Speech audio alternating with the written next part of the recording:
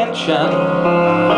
I want to introduce to you in this corner of the good and the right stands my champion Oh, and he's robed in white. Oh, his height it exceeds the heaven.